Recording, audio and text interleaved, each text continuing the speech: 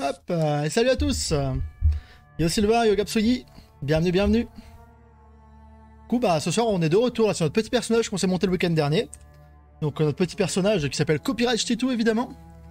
Et euh, donc, ce soir, on, a fini, du coup, la campagne. Guide débutant, c'est encore du leveling, Gozef un peu. Mais t'inquiète pas, c'est pas du leveling, hein, là... c'est fini le leveling, là. Le leveling, on l'a fait ce, week-end, Silva.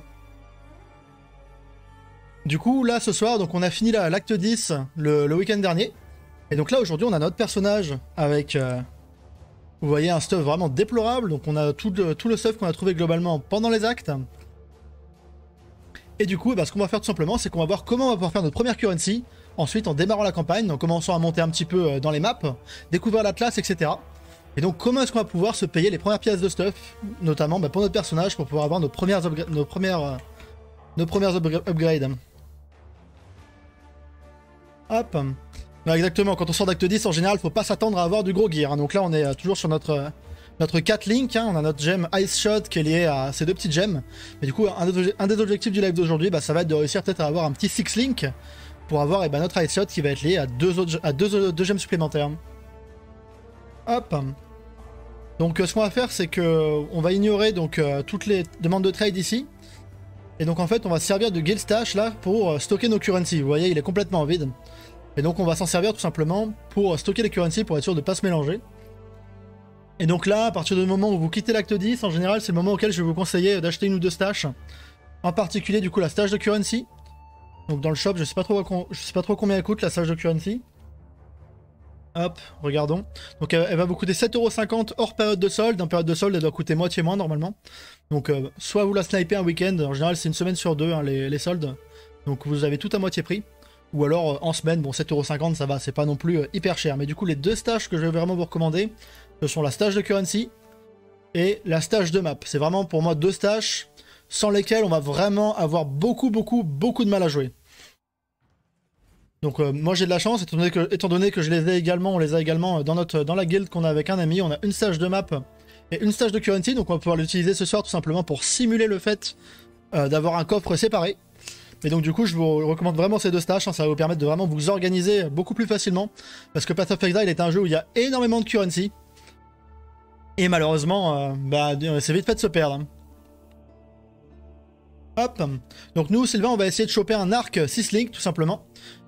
Un arc du coup, un Imperial Bow 6 link. Il y en a pas mal, donc euh, là on va se baser sur l'économie actuelle de la ligue. En début de ligue, faut noter que ce sera plus cher, mais bon, on va pas pouvoir simuler une économie entière de, début de ligue.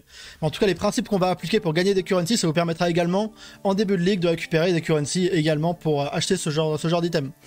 Donc là, je vais vous donner des astuces très génériques hein, pour récupérer des currencies en début de ligue. Et du coup, on va tout faire en live pour vous montrer que même avec un personnage tout rincé, bah, si demain vous êtes vous aussi en sortie d'acte 10, bah, vous pouvez également du coup vous monter votre perso avec, euh, avec ces méthodes.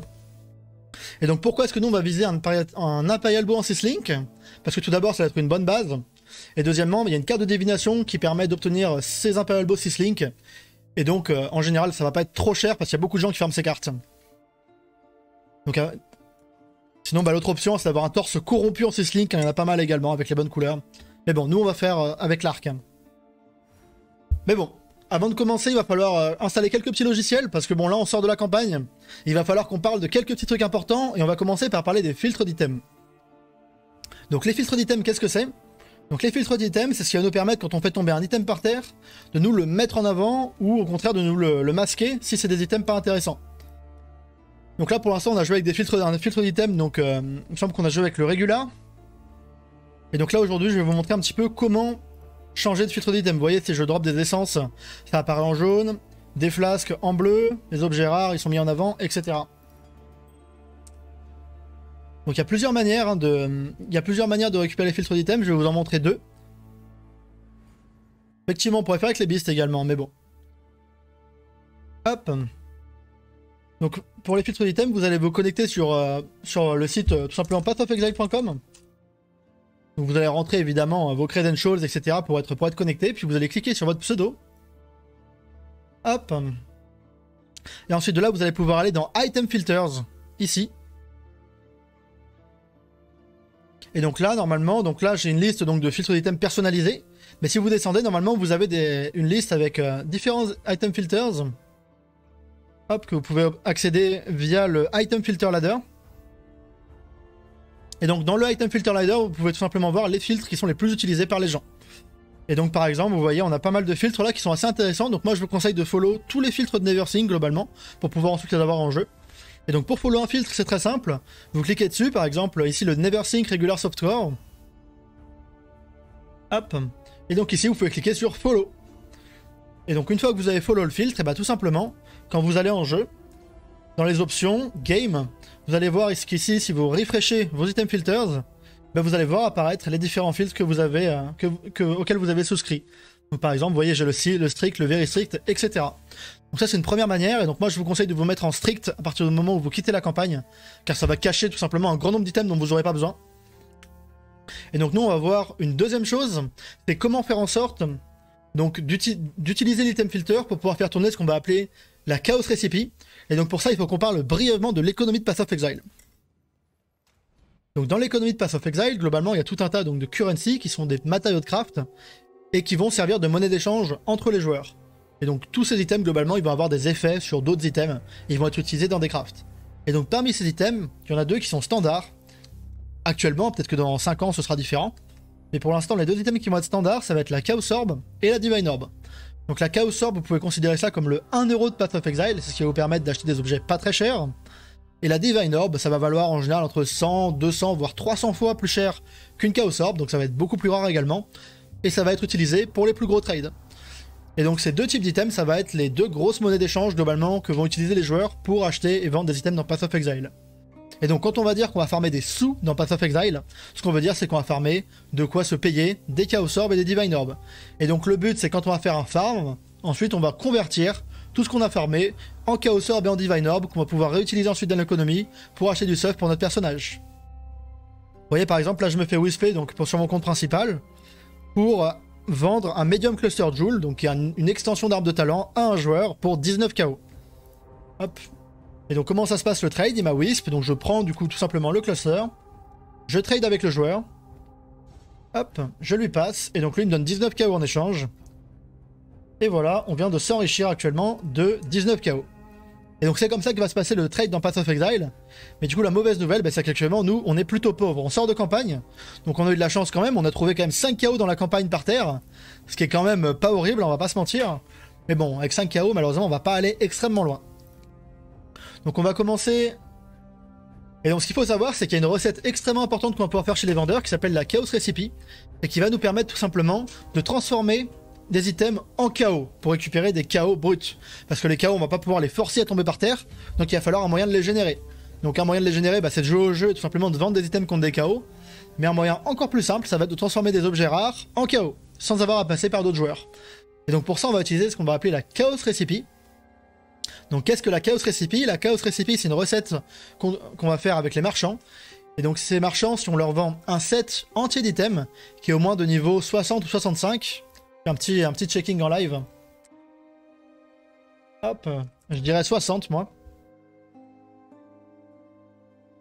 Hop, on va checker chez Maxroll. Maxroll en général... Hop. Yo, bienvenue Lane, bienvenue, bienvenue, installe-toi. Donc effectivement, c'est des items du niveau 60 au niveau 74. Donc si vous vendez un set d'items entre le niveau 60 et 74 à un vendeur, et que ces items ne sont pas identifiés, le vendeur va vous donner deux chaos orbs en échange. Donc qu'est-ce que ça veut dire un set d'items? Et eh bien ça veut dire tout simplement suffisamment d'items pour pouvoir remplir un personnage. Donc il va nous falloir deux armes, il va nous falloir un casque, une amulette, deux anneaux, un torse, des gants, une ceinture et des bottes tous niveau au moins 60 et non identifiés. Et donc si on vend ça à un vendeur, il nous rend deux Chaos Orbs en échange. Et donc nous, on va utiliser un outil qui va s'appeler le Chaos Recipe Enhancer, et qui va, nous permettre tout simplement de euh, récupérer, enfin d'automatiser un petit peu tout ça, de nous faciliter en fait la recherche de euh, ces items pour la Chaos Recipe. donc effectivement Sylvain, à partir du moment où on passe au-dessus du niveau 74, on n'aura plus la possibilité de faire de la Chaos Recipe, parce qu'à la place, donc euh, le vendeur va nous donner, des Regal Orbs à la place. Donc nous on va faire tourner ça dans les maps, jusqu'à des maps globalement de tiers, fin du tiers blanc, début du tiers jaune. Il va quand même faire déjà pas mal de maps, hein, vous voyez, ça va faire des maps jusqu'au niveau tiers, je sais pas, 7, 8, quelque chose comme ça, on va faire tourner la Chaos Recipe pour donner un influx tout simplement de chaos à notre personnage, sans avoir à compter sur de la chance. Donc le temps que les, le temps que les gens arrivent un petit peu, on va tout simplement euh, faire un peu de rangement dans ce stash. Donc on se rappelle qu'on utilise ces 4 stash là pour simuler les 4 stash qu'on a au départ quand on joue. donc on va les garder, donc on va utiliser globalement ces 4 stash là, plus 7 stash de currency, plus 7 stash de map. Comme ça c'est assez réaliste par rapport à ce qu'aurait un, joueur qui débute et qui a mis euh, moins de 20 euros dans le jeu. Donc ici on précise que ça va être des stash premium, donc euh, vous pouvez upgrader normalement dans le shop vos stash vers des stash premium. Comme que ça, ça fait partie normalement des... Voilà, ça vaut 1,50€, donc là globalement, on se met dans la peau d'un joueur qui a mis 6, 7,50, ça fait 13,50, et ensuite il y a une stage de map également, 13,50, qui a mis à peu près, qui a mis 28,50€ dans le jeu. Et donc globalement avec 28,50€, normalement vous pouvez jouer au jeu tranquillement euh, jusqu'à euh, loin dans l'endgame, il n'y a aucun problème. Vous aurez en théorie pas besoin de remettre euh, tellement de sous ensuite.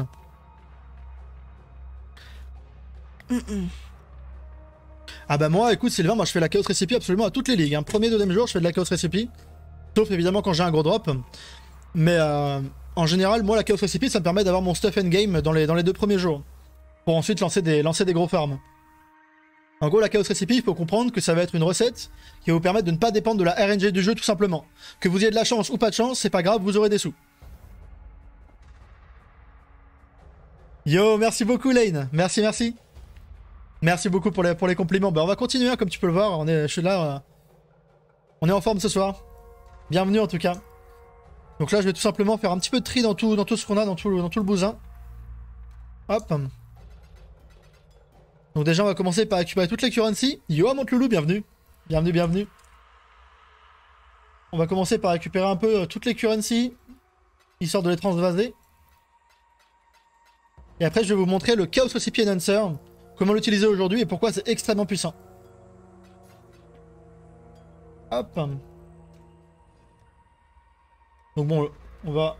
Ah zut. Le problème c'est que je suis pas le chef de ma guilde, du coup je peux pas manipuler euh, comme je le veux euh, Hop, les onglets. Hop, bienvenue en tout cas, bienvenue, bienvenue. Ce soir, on apprend à faire de la moula, mesdames et messieurs. Hop. Donc ensuite, on va avoir quelques gemmes. Les gemmes, globalement, on va s'en débarrasser. Hop. Mais effectivement, Sylvain, il y a beaucoup, beaucoup de manières. Moi, je vous présente une des manières de faire des sous en début de ligue, qui est excellente pour les débutants parce qu'elle ne va pas requérir de connaissances particulières sur une ligue, et en plus, elle ne va pas requérir de RNG, et elle va vous permettre en général de largement pouvoir payer votre League Start. C'est pour cette raison que je vais vous montrer cette astuce-là, et en plus, elle est intemporelle. C'est-à-dire que si demain il nerf une ligue, vous pourrez toujours faire cette astuce. Après, effectivement, hein, libre à vous de faire euh, le chemin que vous souhaitez pour faire vos currency. C'est la beauté de Pass of Exile. Et vous avez tout un tas de manières de faire des sous à tout moment de la ligue. Après, c'est à vous de choisir celle qui vous correspond le plus.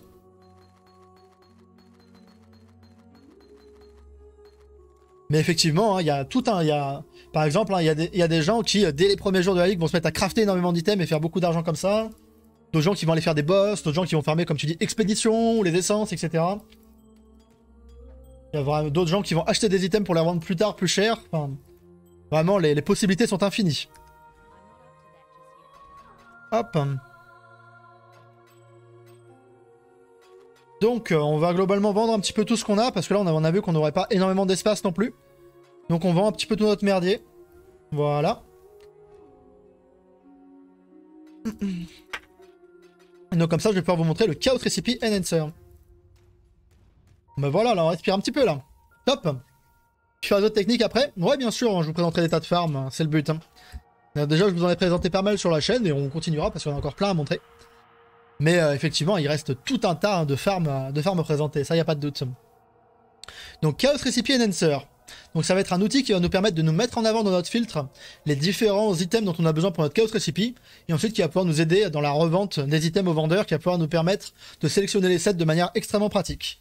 Donc la première chose à faire, c'est de vous rendre sur internet et de taper Chaos Recipe Enhancer, cliquez sur le premier lien,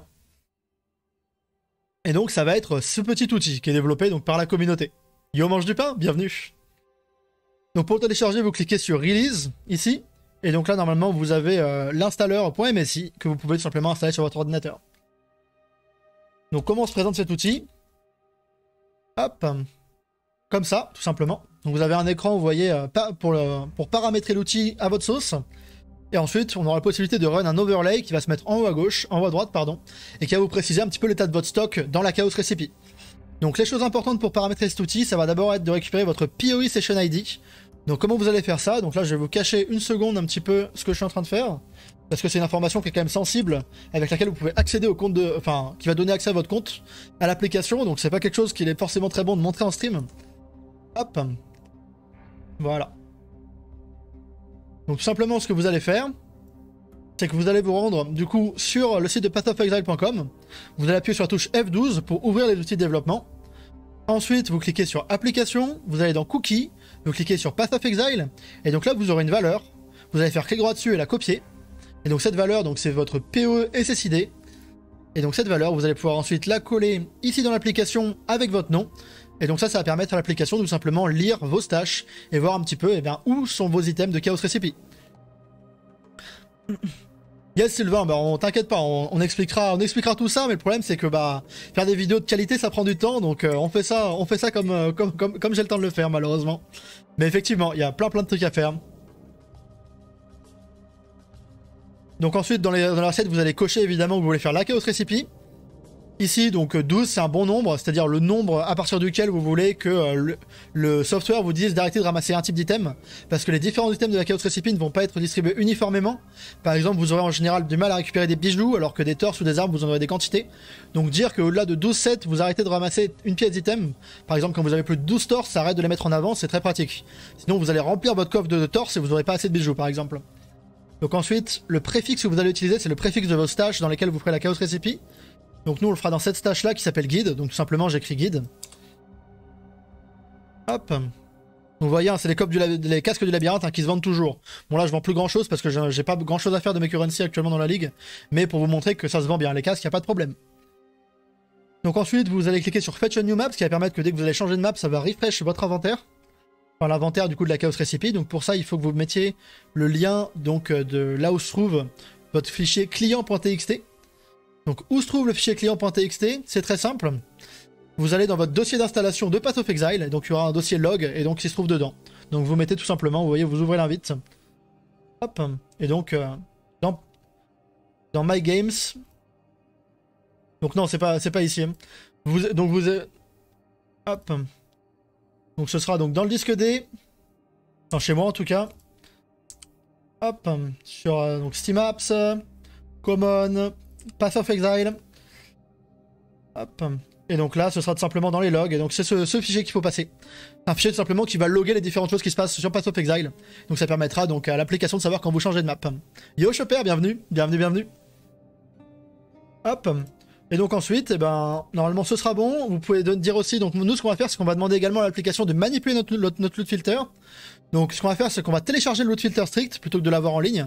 Donc pour ça, c'est très simple on va aller sur Filterblade, qui est le site pour éditer les filtres. Je vous ferai un jour une vidéo pour vous montrer comment faire vos filtres absolument customisés de manière à que vous puissiez vraiment les faire de manière parfaite pour votre usage. Mais donc nous, on va se contenter donc de prendre un filtre strict, Never Soft Score, strict, tout simplement avec des couleurs normales. On va pas l'éditer plus que ça. Et donc là, on va se rendre simplement dans Save and Export pour télécharger le filtre. Hop. Pas besoin de se loguer sur PoE, on va faire Continue without saving. Download. Et donc là, on va tout simplement, vous voyez, télécharger, notre filtre.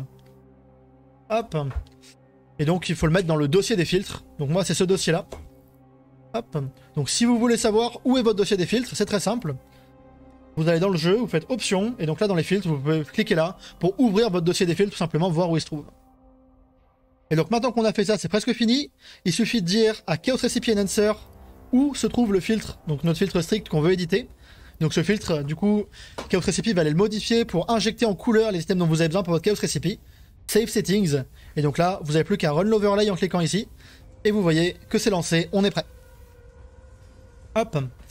Et donc, euh, tant qu'on est là sur le début du stream, on va parler d'une petite dernière application qui va vraiment être indispensable. Et donc, à mon avis, Sylvain peut se douter euh, de, les autres gens qui connaissent peuvent se douter de quelle dernière application vous aurez absolument besoin pour jouer à Path of Exile en trade. Donc, pour récupérer ces fameuses Chaos Orbs et ces fameuses Divine Orbs qui vont vous permettre de turbocharger votre personnage, ça va évidemment être Awaken PoE Trade. Donc, Awaken PoE Trade, c'est un petit add-on qui, qui, ne pèse vraiment rien du tout et qui va vous permettre tout simplement de price checker les objets en jeu. Hop, donc download for, Windows and Linux ici. Et donc ensuite avec cet outil, bah, vous allez être paré au décollage. Donc ensuite il ne reste plus qu'à le lancer. Et donc qu'est-ce que va vous permettre cet outil tout simplement? Donc Awaken Power Trade ça va être un petit bijou puisqu'il va vous permettre de price checker absolument n'importe quel item du jeu. Donc je, vais vous le montrer. Donc une fois qu'on l'a qu'on l'a installé, vous voyez par exemple si je veux savoir euh, combien coûte une Divine Orb, je vais juste passer ma souris sur une Divine Orb, je vais presser CTRL et D. Hop, ça va m'ouvrir une petite fenêtre, vous voyez. Qui va me dire que la Divine, Orb actuellement elle se négocie à 185 KO. Donc on est bien en League Crucible. Et donc ensuite, dans la fonction recherche, on va simplement pouvoir voir les offres des différents joueurs. Vous voyez par exemple que les gens qui la vendent la moins chère, ils la vendent à 180 KO. Et ensuite ça monte petit à petit. donc ça c'est très pratique quand vous voulez pricer un de vos items, et ben c'est simplement de regarder à combien le mettent les autres joueurs. Il price les items, mais il fonctionne qu'en anglais. Effectivement, il est que en anglais ce logiciel. Mais bon, heureusement, il n'y a pas beaucoup de mots, donc c'est pas très compliqué à comprendre. Donc, autre fonction extrêmement puissante donc euh, de Awaken PO Trade, c'est qu'il vous permet de pricer les objets rares. Donc simplement, donc ces objets ne valent rien, donc on va pas avoir grand chose hein, qui va sortir. Mais vous pouvez faire CTRL D du coup sur un item. Je crois que c'est CTRL ALT D si vous voulez que la fenêtre reste ouverte. Et donc là, vous allez pouvoir tout simplement filtrer les différents items du trade avec euh, les différentes statistiques de votre item. Vous voyez par exemple, je peux dire que moi j'ai une Body Armor, qui est une Soldier's Brigandine, qui a de la résistance et de la vie, et qui est niveau 38, donc c'est vraiment du très mauvais stuff. Hein. Et donc ensuite on peut faire search dans le trade pour voir un petit peu. Donc là évidemment ça ne vaut pas 15 KO hein, cette Brigandine, ça ça ne vaut, ça vaut rien littéralement. Mais c'est tout simplement parce qu'il n'y a pas de marché hein, pour ce genre d'item euh, relativement médiocre, donc euh, les prix ne sont, pas, évidemment pas valables. Mais du coup, ça, vous allez voir qu'on va le faire tourner pas mal quand on va trouver des items qui peuvent avoir de la valeur, parce que ça va nous permettre tout simplement bah, d'estimer hyper précisément les prix de nos items, et donc de les, vendre sans avoir de connaissances particulières sur le marché. Ok, bon ben on est paré, c'est parti. Hop. Donc maintenant qu'on est paré, on a le, la Chaos Recipe qui est lancée. Deuxièmement, on a Awaken PO Trade qui est lancé. Et donc on va pouvoir, avec notre personnage complètement rinsax, aller faire notre première map. Hop, donc on se rend dans l'épilogue. Hop. C'est où Carry Shores C'est ici, donc dans l'épilogue, Carry Shores. Et on va aller compléter notre première map, tout simplement, pour pouvoir commencer à faire fonctionner notre Chaos Recipe. Hop. Donc on a de la chance de récupérer 5 Chaos Orb dans le leveling, mais on va pas l'utiliser tout de suite, pour que je vous montre un petit peu qu'on peut très bien commencer sans avoir trouvé de Chaos Orb, et faire tourner quand même le build euh, malgré tout. Donc on va parler à Kirak. Et donc là, normalement, donc là, il, apparemment, il le fait pas parce que bon, euh, on l'a déjà fait avec un autre personnage. Mais normalement, là, vous allez pouvoir parler à Kirak pour avoir votre première map, tout simplement, à lancer. Donc, euh... hop, j'ai l'impression que euh, nous, on n'a pas de map, hein, malheureusement. Donc, on va prendre une de mes maps, mais normalement, euh, Kirak vous donne une map à la fin de l'aventure que vous pouvez tout simplement aller faire. Hop. Donc, donc normalement, c'est une map de tier 1, donc vous allez le choix entre vos différentes maps. Donc, qu'est-ce que c'est que les maps? Donc si vous êtes familier avec Diablo, les maps c'est tout simplement les failles ou les donjons. C'est-à-dire ça va être une instance dans laquelle vous allez avoir une série de mobs à tuer dans un, donjon. Et ça, va se conclure par un boss. Et donc quand vous terminez la map ensuite, vous allez progresser ce qu'on va appeler l'Atlas. Donc l'Atlas ça va être une méta-progression. Donc actuellement moi mon Atlas il est fini. Mais donc au début vous n'aurez pas toutes ces maps, hein, vous aurez rien, vous démarrez d'en bas. Et donc petit à petit vous allez, vous allez compléter les différentes maps de votre Atlas. Ça va vous permettre de progresser tranquillement dans les maps de plus en plus dures. Donc ça, on va pas en parler tout de suite, ce sont les Voidstone, mais ça, vous pouvez tout, simplement oublier qu'elles existent pour le moment. Et donc ce qu'on va faire également, c'est qu'on va décharger mon arbre d'Atlas. Donc attention les yeux, mesdames et messieurs. Path of Exile, c'est un jeu où on aime les arbres. Et donc on a un deuxième arbre, c'est comme si l'arbre de compétence ne suffisait pas. On a un arbre d'Atlas. donc cet arbre, on va tout simplement le vider. Donc je vais aller acheter vite fait des petites orbes pour vider l'arbre. Hop, afin qu'on commence avec un arbre complètement vierge. Voilà, donc là on repart d'un arbre complètement vierge. Et donc on va prendre, donc euh, toujours quand on va dans nos maps, on va toujours prendre, hop, des Scrolls of euh, Wisdom et des Portal Scrolls, afin de pouvoir tout simplement euh, échapper à notre map, enfin sortir de notre map et identifier les items si on en a besoin. Hop. Nickel. Et donc Kirak va nous donner une map qui va être bleue. Donc il va être de rareté magique toujours. Une bonne crypte par exemple. On va mettre de rareté bleue. Et donc ça c'est ce que va vous donner Kirak. Vous voyez, et donc vous voyez hein, comme, tout dans Path of Exile, les maps eh ont aussi des modes, hein, comme les items. on peut les crafter si on veut. Donc là la map qu'on va faire, elle va avoir de l'increase movement speed, de l'increase monster attack speed, Et les monstres, ils vont gagner des frenzy charge on hit, donc ils vont être plus durs à tuer. Donc, effectivement, et donc effectivement, là, notre premier objectif, ça va être tout simplement, d'une part, de faire notre Chaos Recipe, mais d'autre part également de progresser notre Atlas, parce que c'est ça qui va nous fournir les points de compétence d'Atlas, qui vont nous permettre de juicer nos maps. Donc on va tout simplement mettre notre map dans le map device, et l'activer. Hop donc là, il faut retenir qu'on est en sortie d'Atlas, donc euh, ça peut être un petit peu compliqué dans les premières minutes, tant qu'on n'a pas commencé un petit peu à upgrade notre personnage, on se rappelle qu'on a encore des objets niveau 30. Mais euh, bon, hop, on va, on va s'en sortir.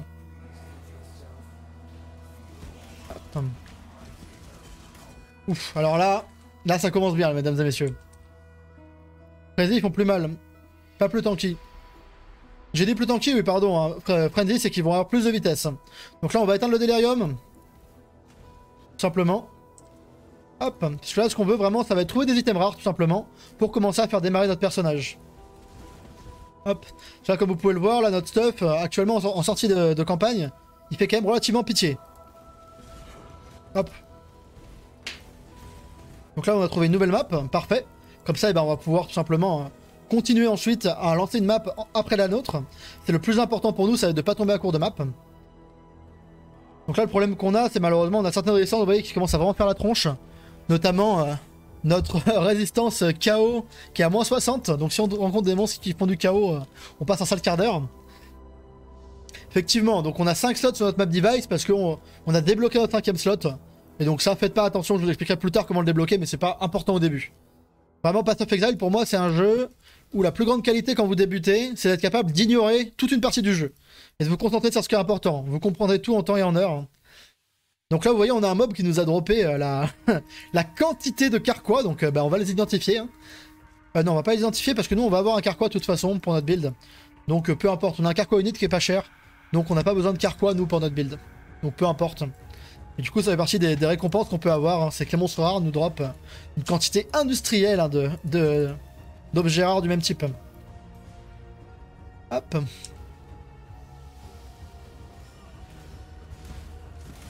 Donc là, on a une expédition. Donc comme je vous l'ai dit dans le leveling, l'expédition, je vous l'ai expliqué une fois.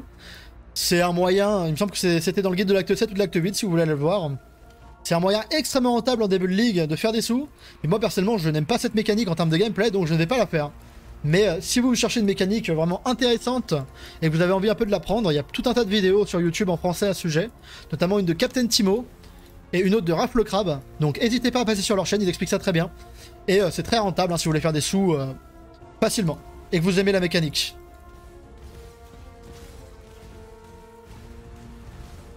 Alors, je voudrais savoir comment tu sais dans, dans, quelle map se trouve un boss à faire dans ton atlas, colonne de gauche, afin de pouvoir valider tes maps favoris. Ok, donc effectivement, on a un truc sur lequel on va pas pouvoir tricher. Hop. On a les maps favorites, et je crois qu'on peut... Ah si, avec les grands, on peut les désélectionner. Donc ça, bon, ce sont des maps favorites. C'est des slots où en gros on dit je veux que si on aime particulièrement une map, on peut demander qu'elle drop plus souvent. Et donc ça, il y a différents... Euh, comment dire il y, a, plusieurs manières de les débloquer, tout simplement, ces, slots de map, en tuant globalement des boss difficiles dans le jeu. Et donc globalement, c'est des boss qui vont pas se trouver dans les maps pour la plupart, mais plutôt des boss d'endgame qu'on va appeler les pinnacle boss, comme Shaper, Maven, etc. Donc ça, on verra si on pousse le personnage jusque-là. Mais globalement, le wiki est votre meilleur, votre meilleur ami à ce moment-là. Et donc là, on a le boss de la map, donc on va lui claquer un Valai Shot. Hop.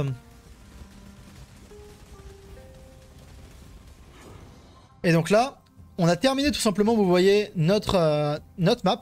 Et donc là, vous voyez qu'on a différents objets qui vont avoir des couleurs sympathiques. Donc on a une map tout d'abord. Et ensuite, le filtre de la Chaos Recipe va nous avoir mis en avant un torse. Vous voyez, de niveau 60 ou plus, non identifié en rare. Une épée, des mythes et un casque. Et donc, pour quelle raison est-ce que l'arc n'est pas mis en avant? Tout simplement parce que l'arc, c'est un objet énorme et il compte que pour une arme. Et du coup, pour optimiser la place dans votre coffre, la Chaos Recipe ne va pas mettre en avant les arcs, même si les arcs fonctionnent pour faire la Chaos Recipe. Mais vu qu'ils vont prendre beaucoup de place, ils vont, on va pas vous les faire les ramasser parce qu'ils vont vous encombrer, comparé par exemple à une petite épée une petite dague qui prendra beaucoup moins de place. Donc là, on va finir la map. Hein. Je vous conseille de continuer les maps jusqu'à avoir moins de 50 monstres qui restent simplement euh, parce que vous voyez qu'on n'est pas extrêmement puissant non plus, donc autant en profiter. Vous voyez qu'on fait beaucoup d'XP, on monte deux niveaux par map là. Hop, et donc on va pouvoir trouver pas mal, euh, notamment d'objets rares pour notre Chaos Recipe.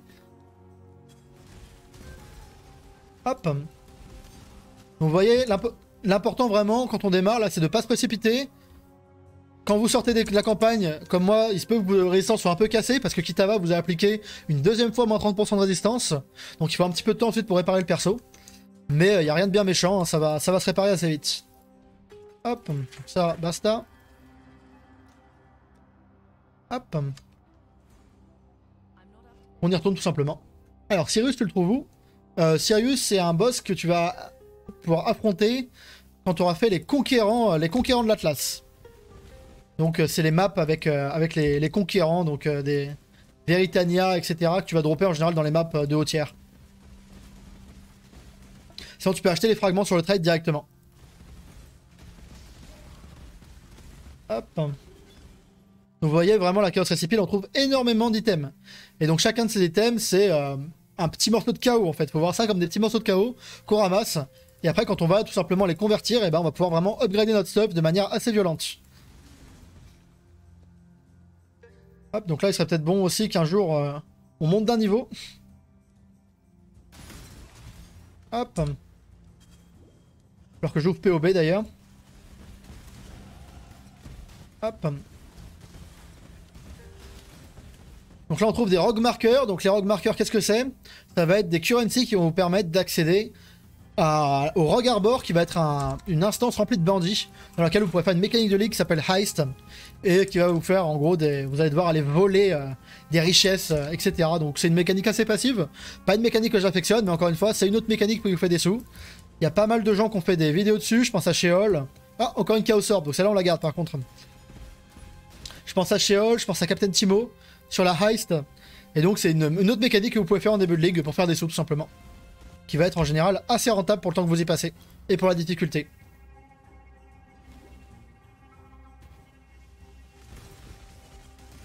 Ah, le grand débat, Sylvain, où commence une game de PoE hein? Ça, je peux pas vous répondre. Hein. Là, vous voyez qu'on a plein de gemmes qu'on peut pas level up aussi. On n'a pas les stats. Donc c'est des choses qu'il va falloir qu'on fixe. Et donc on va faire tout ça dans le stream de ce soir. Hein. Je vais vous montrer comment vraiment, en quelques heures, on va pouvoir transformer ce personnage d'un personnage extrêmement bancal qui sort de la campagne avec vraiment un stuff relativement moyen en un personnage qui va pouvoir normalement push des maps relativement difficiles. Hop. Sans avoir besoin d'avoir des énormes drops. Évidemment, si on drop un miroir de calendrier, on ne va pas l'utiliser. Hein. On va faire comme si on l'avait pas droppé. Hein. Donc également, ce que je vous avais dit, c'est qu'à partir de ce moment-là, de, des maps, on allait commencer à faire le Crucible. Donc euh, le Crucible, si vous regardez cette vidéo, euh, enfin si vous, je sais pas si je mettrai ça en ligne, mais s'il y a une vidéo et que vous la regardez plus tard dans une prochaine ligue, ça n'existera probablement plus.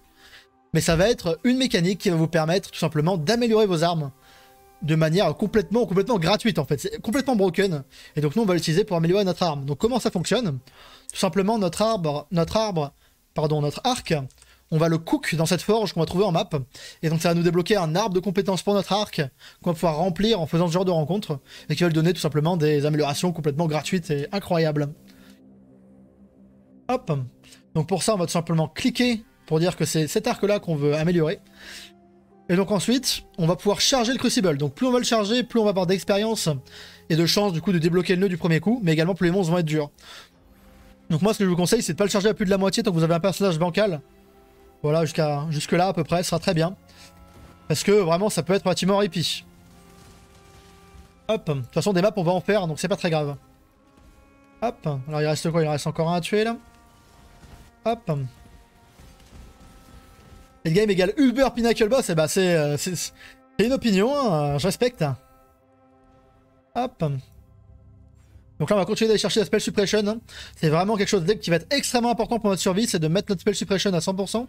Donc la spell suppression, je rappelle que c'est une stat qui va vous donner une chance de diviser par deux les dégâts des sorts que vous recevez.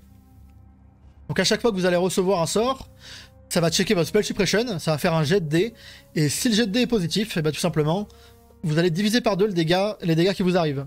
Donc nous, actuellement, on a combien? Actuellement, on a 80% de spell suppression, ce qui veut dire que quand on reçoit un sort, on a 80% de chance de le diviser par deux ses dégâts.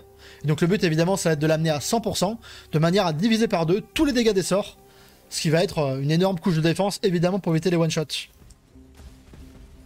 Hop. Donc vous voyez, hein, je suis vraiment pas en mode rush, hein, les maps on les fait vraiment pas en mode turbo.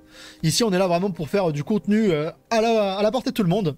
Et vous allez voir que même si, on se presse, je me, même si je me presse pas particulièrement, même si on rush pas l'Atlas, etc., on va quand même pouvoir se faire un stuff tout à fait convenable. En restant tout à fait euh, débutant friendly. Hop, oula. Donc là quand il y a beaucoup d'élites, hein, on fait attention. On peut avoir des modes assez vénères. Hop. Donc on continue de ramasser nos petits objets rares de Chaos Recipe. Hop. Des joueurs orb, c'est bien. Donc on ramasse également toutes les petites currencies parce qu'on pourra les vendre si besoin pour des sous ou alors pour nous aider un petit peu à crafter différentes parties de notre stuff. Donc vous voyez l'outil en haut là il se met à jour petit à petit là. Vous voyez on a une paire de gants, deux casques, un torse, une arme, etc.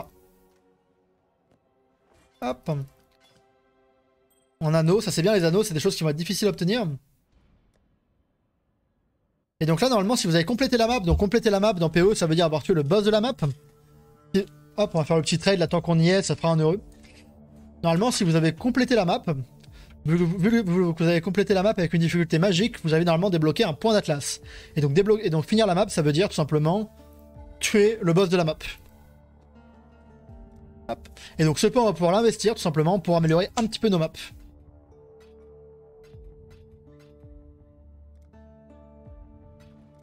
Hop. Hop. Et donc maintenant, vous pouvez tout simplement ouvrir le petit point qui a dû s'afficher en bas. Ou appuyer sur CTRL G pour ouvrir cette fenêtre. Et donc là, nous, on va partir vers le haut. Tout simplement parce qu'il y a quelques points qu'on va vouloir. Moi, des points que j'aime bien aller chercher, c'est ces points-là. Qui vont nous permettre de dropper plus de maps. Ceux-là également. Les points de Kirak ici, qui va, qui va être un PNJ qui va nous aider à tout simplement avoir de nouvelles maps. Et ces points-là ici, qui vont nous permettre d'avoir plus de maps également. Et donc tout ça, ça va nous permettre de nous aider à tout simplement ne pas tomber à court de maps. Donc on va monter par là. Hop. Donc vous voyez que là, ces petits points, ils vont faire qu'il y a des monstres dans nos maps qui vont avoir des chances de nous dropper des maps supplémentaires. Et donc tout ça, ça va être additif. Vous voyez, 2 plus 2 plus 2, etc. Ça va finir par faire pas mal de chances, genre 10-20% de chance qu'il y ait un monstre dans notre map, tu drop une map en plus. Donc c'est quand même euh, vraiment hyper intéressant. Et donc là, on a récupéré deux maps. Donc là, on en a une rare. On va voir un petit peu euh, quelle est sa difficulté. Là, vous voyez, on a, donc, euh, on a les monstres qui vont avoir plus de vie, etc. Effectivement, la, la strat Kirak, hein, c'est une très bonne strat. Moi, je vous la recommande à 100%. Donc là, ça va, être une map un petit peu hippie, mais le truc, c'est que tant qu'on n'est pas trop haut niveau, c'est pas très grave si on meurt de temps en temps. Quand on va mourir, on va perdre 10% d'XP. Mais à notre niveau actuel, 10% d'XP, c'est vraiment pas énorme. Donc, on va pas cracher dans la soupe. Par une map, c'est une map. On va la faire. Hop. Et donc, c'est une map qu'on n'a pas encore complétée, ce qui va nous permettre d'avoir un nouveau point, tout simplement, dans notre atlas. Et donc petit à petit, ça va nous permettre de compléter notre atlas en faisant toujours des nouvelles maps. Qu'évidemment, vous n'aurez pas un nouveau point si vous faites une map que vous avez déjà faite. Et donc ce qui est important, c'est que les maps blanches, si vous voulez récupérer un point d'Atlas, il faut les faire au moins en rareté magique. Les maps jaunes, il faudra, il faudra les faire au moins en rareté rare. Et les maps rouges, il faudra les faire au moins en rareté rare et corrompue. Donc là, on va se contenter de lancer des petites maps à la suite pour commencer à build un petit peu notre collection d'objets de, Chaos Recipe. Hop. vous voyez par exemple qu'on a déjà 7 casques, donc quand on aura 12 casques, eh ben, le filtre va se modifier pour nous dire d'arrêter de ramasser les casques par exemple. Hop. Donc on fait attention, il y a des, quand même des mobs, il y a des, quand même des modes sur la map qui sont un petit peu rippy. Donc euh, on va essayer de jouer un petit peu, euh, un petit peu safe. Hop, on claque le Valais Shot quand même de temps en temps. Hop, on oublie pas d'activer la Blood Rage. Pour avoir du Leech. Super, on a une ceinture. Les ceintures, globalement, tout ce qui est bijoux, c'est-à-dire ceinture, anneaux, amulettes, ça va être des objets qui vont être assez rares. Et donc, qui vont souvent manquer pour la Chaos Recipe. En plus, les anneaux, on les consomme deux par deux. Donc, ça fait toujours plaisir de trouver de, la, bijouterie. Hop.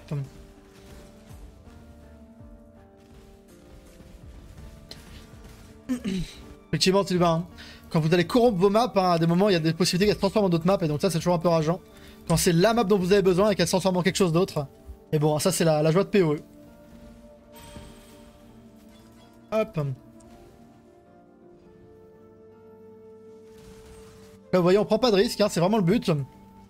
Là, il n'y a pas de, pas de trucage, hein, on joue toujours notre build éclaté au sol. Donc vous voyez que bon, on va pas dire que c'est une flèche non plus, hein, c'est pas le meilleur build du monde. Mais euh, normalement, il va vous permettre normalement de progresser tranquillement dans le début des maps pour euh, récupérer suffisamment de ressources pour pouvoir commencer à l'améliorer. Hop. Donc le tout c'est de pas se mettre trop dans la sauce, hein. éviter d'aller se rouler dans les packs d'élite, parce que bon bah ça, Globalement, si on le fait, on va finir par mourir.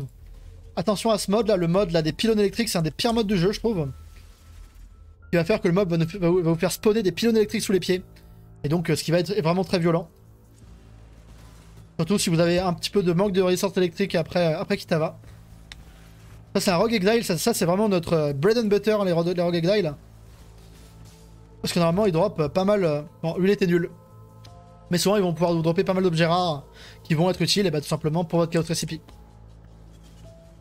Et bah, dis donc, on a expédition systématique là.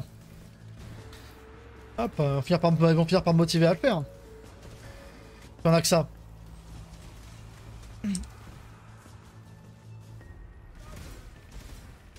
Hop.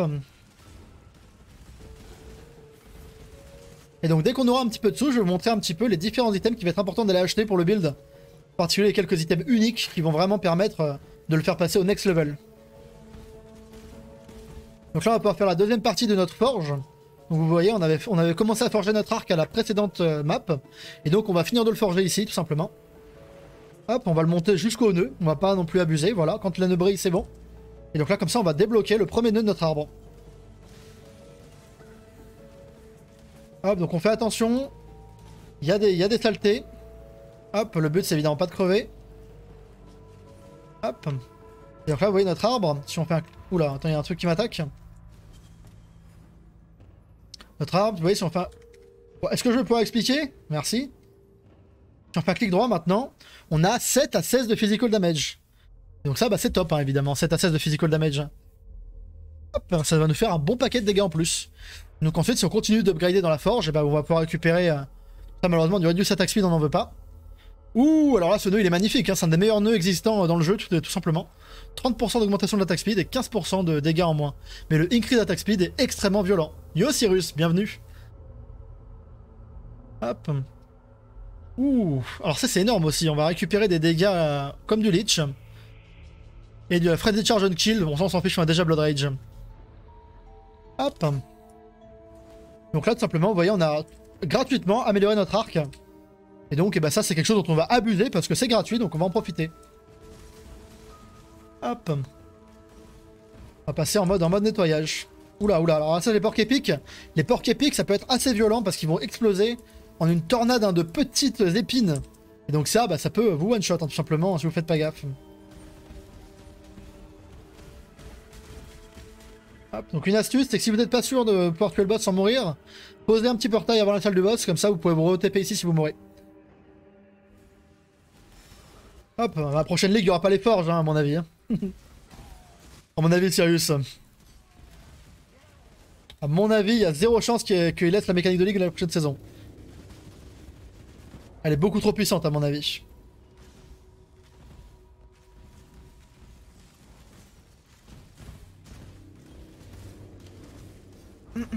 Effectivement, je sais pas si on les freeze là. Je sais pas si on a assez de dégâts là pour freeze les mobs actuellement. Je pense pas, on a quand même pas du gros single target pour le moment. Je sais pas dans quelle mesure, j'ai pas l'impression qu'on prise des ennemis. Et on n'a pas de chance de crit non plus, donc... Euh... Hop. Vous voyez, avec le Valet Shot, on a quand même des dégâts très corrects. Hein.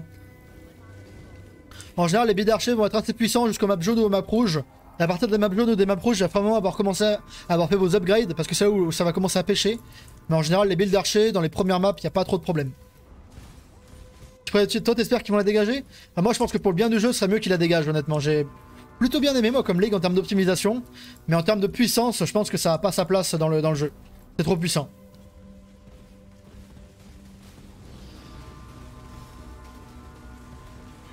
Hop vous voyez la quantité d'objets qu'on récupère pour la Chaos Recipe. Hop, on va carrément devoir faire un aller-retour pour tout, pour tout décharger.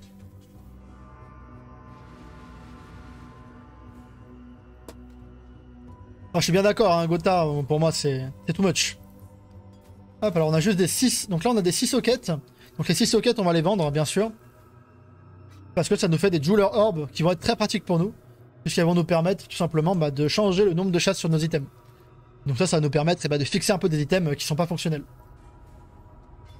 Hop. Donc là, vraiment, on se fait... Vous voyez, on a plusieurs maps et tout, ça fait vraiment hyper plaisir. Effectivement, là, on arrive à, quand même à un point de non-retour. On a tellement de mécaniques dans le jeu qu'on espère qu'il y aura un petit ménage dans la PO2 qui nous feront un peu d'ordre, qui, mettront un petit peu d'ordre dans tout ça. Donc là, on va pas s'arrêter en si bon chemin. Vous voyez, on a bonne crypte, je crois qu'on l'a déjà faite. Donc on va faire euh, Belfry, Belfry, je sais pas comment ça se dit en anglais, le beffroi quoi. Et donc l'important, bah, ça va être de la mettre en magique pour avoir notre point. Donc là, on a notre deuxième petit point, parce qu'on a fait bah, une deuxième map au moins en, magique. Et donc, eh ben, on va simplement lancer la suivante. Donc on va prendre une petite transmute, on va l'appliquer à notre map. Hop, donc euh, du crit pour les monstres, dommage, ça va être euh, dangereux. Et donc on va la lancer tout simplement.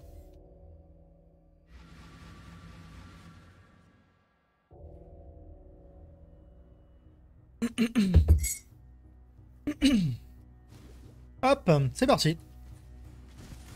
Donc hein, les strongbox, on fait toujours attention, on les et on s'enfuit. Parce qu'il euh, peut y avoir des saletés dedans. Hop, donc les monstres un peu retors, on leur claque le Valai Shot dessus. Hop. Normalement, c'est bien suffisant. Ah, un petit anneau, ça fait plaisir ça pour la Chaos Recipe. On ouvre l'œil également si on voit des arcs, hein, les arcs, il faut les ramasser les identifier, on sait jamais. Si on trouve des upgrades, euh, parce que bon, notre arc n'est pas non plus terrible. Hein. Vous pouvez voir dans PO Armory, c'est pas, pas une flèche notre arc. Donc, euh, si on peut trouver une upgrade, hein, franchement, on crache pas dessus. Hop. Exactement, les strongbox, il peut y avoir pas mal de petites surprises à l'intérieur. Donc vraiment, quand vous en ouvrez une, courez ensuite, parce que vous pouvez vous faire vraiment one shot. Vraiment, euh, ça ne rigole pas.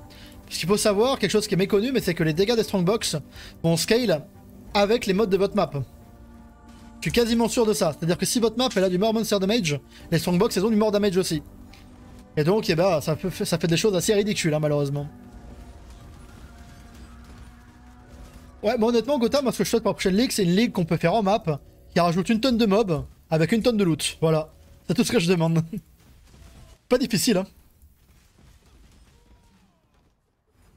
Et donc là, ce qui est marrant, c'est qu'on va pouvoir aller retrouver Kitava. Parce que le boss de cette map, ça va être une version euh, tune down de Kitava. Donc une sorte de baby Kitava. Et donc on va aller évidemment euh, le, sécher. Hein, parce que bon, si on s'est fait le vrai Kitava, alors là, le Kitava du pauvre, normalement, on va, on va lui apprendre le respect. J'espère. Hop, vous voyez là, le dégât qu'on lui met, y a pas de problème.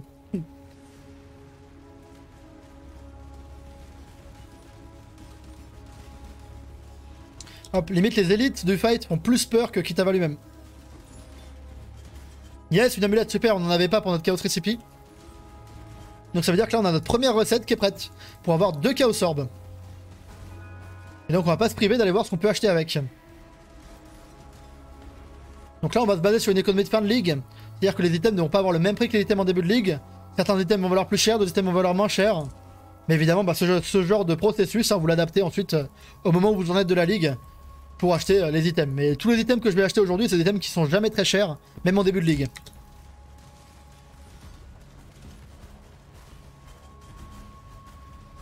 Hop, euh, bonne armor, on ramasse.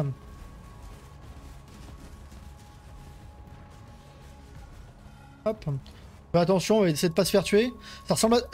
Donc là, on fait attention parce que ça, voilà. Typiquement, ce que je voulais pas qu'arrive. Ça ressemble à des dégâts du chaos et nous, on a moins 60% de résistance au chaos. Et du coup, bah, moins 60% de résistance au chaos, comment dire que, que ça pique, hein, les dégâts du chaos. Mais bon, c'est pas hyper grave de mourir, on perd pas encore trop d'XP. Donc, euh, ça arrive. Surtout quand vous avez votre chaos 13 à moins 60%. Hop.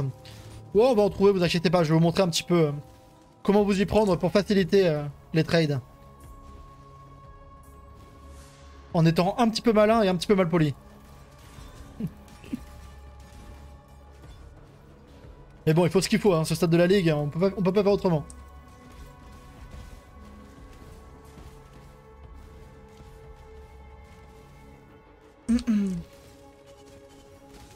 Mais voilà, on va pas tricher, on va acheter les items au prix où ils sont, et voilà, et aux gens qui veulent bien les vendre. Faut vraiment qu'on ait l'expérience complète de Path of Exile. Hop. Donc on va aller faire la forge ici, parce que moi j'ai vraiment très envie d'avoir ce point. C'est un point extrêmement puissant, qui va correspondre globalement à grosso modo 10% de dégâts en plus qu'il faut vous dire, c'est qu'en termes de dégâts, ça va vous faire x1,3, 30% d'attaque speed en plus, et ensuite 15% less, donc x 0,85. Donc 1,3 x 0,85, ça va vous faire globalement 10% de dégâts en plus ce point là, donc on va vraiment aller le chercher. C'est gratuit entre guillemets, donc euh, ça demande juste un peu de temps. Donc comme d'hab, on va pas charger trop au-dessus de 50%, histoire de pas prendre de risque avec la mécanique, ça sert à rien si, si on crève. On va la faire en deux maps je pense. attention aux élites de la mécanique, elles peuvent être extrêmement vénères. Ah bon à ce point? Aïe aïe aïe. Ah bah le trade dans ce jeu, c'est un sujet qui divise. Hein. Honnêtement, j'ai pas de problème avec.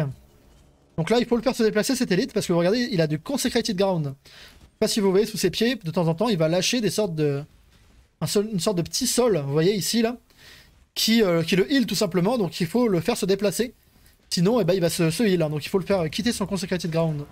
Pour ça que là, je le kite de manière pas très efficace, parce que bah, s'il est sur Consecrated Ground, c'est vraiment contre-productif. Hop, voilà. Donc c'est pour ça que je vous dis de surtout euh, ne pas charger trop la mécanique de ligue. Vous voyez que j'ai à 50%, ils sont bien tranquilles les machins. Donc à 100%, je vous laisse imaginer. Sachant que c'est pas linéaire.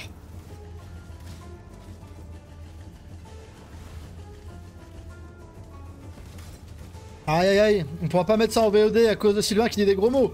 Terrible ça. Je suis obligé de flouter le chat.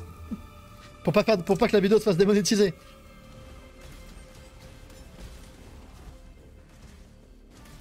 Hop.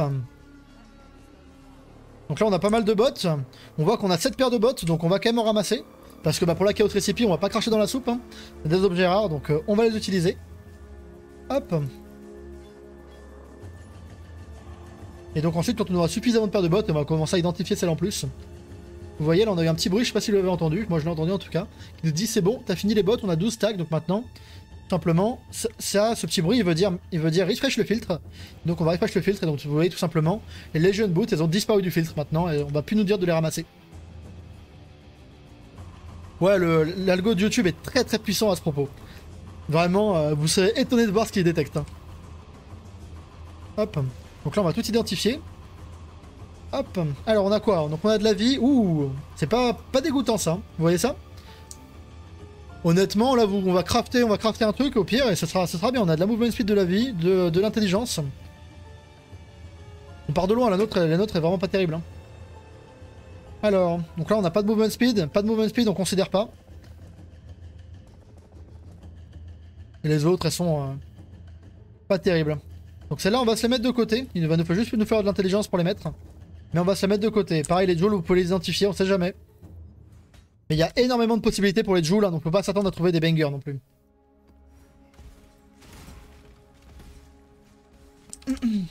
Ah bah je sais que c'est un sujet qui anime les passions, hein, le sujet euh, de l'hôtel des ventes. Moi ça me dérangerait pas honnêtement, hein. au moins pour les currency un petit peu génériques. Tout ce qui est bah, les matériaux de craft, etc. avoir un hôtel des ventes serait quand même plus simple. Hop. Ça permettrait également de combattre le phénomène du price fixing, qui est ce phénomène que certaines personnes vont mettre, vont euh, contrôler le marché pour un type d'item et le mettre volontairement beaucoup moins cher que son vrai prix pour que les gens se trompent. Le liste à ce prix-là et qu'ils puissent l'acheter à, bas prix. Et qui est évidemment extrêmement toxique hein, pour l'économie du jeu. Donc euh, bah, ça, hein, c'est évidemment quelque chose moi que je souhaiterais voir, euh, voir disparaître. Hein. Hop. Je vais charger mon petit build.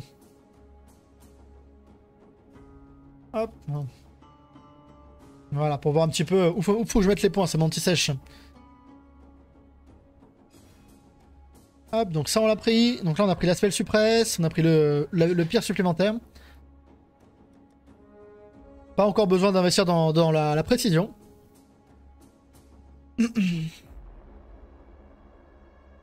ok. Ben, on va aller chercher ce cluster de dégâts de froid ici. Hop. Donc là, on va aller se faire le boss de la map. On va se mettre un petit portail ici au cas où, parce qu'avec ces dégâts du chaos, il fait un peu peur quand même. Hop, surtout que là, il a fait spawner des, monstres uniques, etc. Hop, je sais pas qui est-ce qui, euh, est, pénible, mais il y en a un là qui nous fait, en plus on n'y comprend rien à arène. Mais il y en a un qui est particulièrement pénible. Hein. Je sais pas lequel c'est. Il y en a un qui est cancérigène là dans le Vous voyez qu'avec le Balai Shot, on a quand même un très très bon burst de dégâts en hein, mono cible. Vraiment pas besoin de setup totem. Hop. Voilà exactement pourquoi j'ai mis un portail hein, pour euh, ce genre euh, de one shot sur les dégâts du chaos. Hop. Et ça, malheureusement, hein, quand on prend une map avec en plus du crit et du crit multi pour les monstres, ça, ça arrive. Hop. Ça vous arrivera de temps en temps de mourir dans PO de manière un petit peu one-shotesque. Mais euh, ça fait partie de l'esprit du jeu malheureusement. Donc là on continue de tuer les mobs, hein, même si bon on a fini la map. Mais bon, on va essayer au moins de se faire les différentes... euh, Bah, attention à ceux qui vous mettent des petits cristaux sous les pieds. Ça me dit rien qui vaille. Je sais pas trop ce que c'est comme mode de, de rare, mais ça a pas l'air très sympa. Hop, voilà. Nickel. Et nickel, voilà, super. X par ligue. Ah, quand je disais le chat, euh, je suis décédé. Happens. Happens. Alors, du coup, vous voyez que là, on va pouvoir récupérer, du coup, différents objets encore pour notre Chaos Recipe. Puis je pense qu'on va pouvoir la faire tourner une première fois pour acheter nos premiers items. On va aller voir un petit peu le prix d'abord des différents items que je vais acheter. Mais là, à mon avis, on devrait pouvoir au moins la lancer une première fois. Hop, et prendre notre premier upgrade pour notre personnage dans le trade. Hop, ça, on vend les 6 les six sockets. Les bots, on dit qu'on se les mettait de côté, celles-là. Hop, on va se les mettre de côté ici. Elles sont identifiées de toute façon. Donc euh, la Chaos Recipe va pas les prendre en compte. Hop, donc ensuite on va mettre à jour notre petite... euh, On va aller à la ménagerie par exemple pour mettre à jour l'outil de la Chaos Recipe. Hop. Voilà, on va dire euh, fetch. Voilà, et donc là il nous dit on a 7 casques. Donc comme d'habitude, quand on, va refresh le filtre après. Donc là, vous voyez, on voit qu'on a une recette là qui est prête. Et donc on va tout simplement pouvoir lui dire, bah lance-nous euh, une recette. Hop, je sais pas pourquoi il nous met 0 là. Hop, on a une paire de gants. Donc là, je ne sais pas pourquoi il nous met 0, honnêtement, parce que pour moi, on a vraiment une, on a une recette qui est prête. Donc on va pouvoir faire donc un casque, des bottes, un torse. Ensuite, une ceinture. Deux anneaux. Hop, il est le deuxième anneau? Ah non, on a qu'un seul anneau, je suis bête. Donc il nous faut un deuxième anneau, mais il est là notre deuxième anneau, donc tout va bien, tout va bien. Tout va bien. Hop. On reprend. Hop, ceinture, il nous faut une amulette. Alors, il nous faut des bottes, des gants. Et euh, on a tout là? Je crois qu'on a tout. Effectivement, hein, effectivement, Moïse, t'as raison. Merci pour, ton premier message et bienvenue. Hop. Et normalement, là, on a de quoi donc, coup, lancer une première Chaos Recipe. Donc, on va vendre, du coup, vous voyez, tout le set d'items. Et il nous manque quelque chose.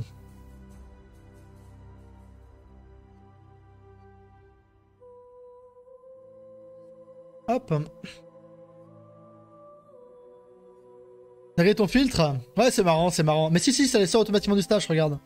Je vais te montrer. Regarde. Donc, euh, je vais vous montrer carrément comment utiliser avec l'outil hein, pour vraiment parfaire le tutoriel. Donc, regardez, donc, je vais juste changer d'instance rapidement. Histoire, euh, histoire de, pouvoir, euh, de pouvoir vous montrer vraiment toute la puissance de l'outil. Hop. L'outil va pouvoir même vous dire dans quel ordre les prendre de manière à optimiser deux Chaos Recipe par, par trajet au cas où vous avez un inventaire vide. Donc, démonstration, on va vider notre inventaire. Hop, là on va fetch. Et du coup là on va cliquer sur ce petit 1 là ici. Tac.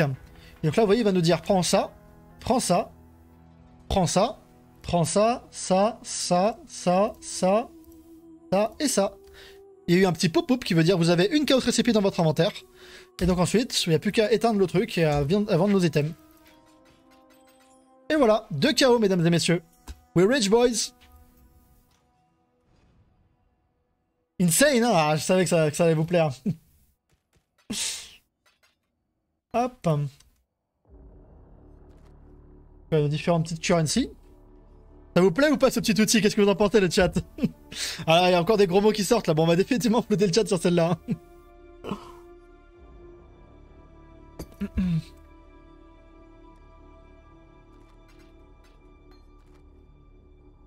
PFX, bienvenue.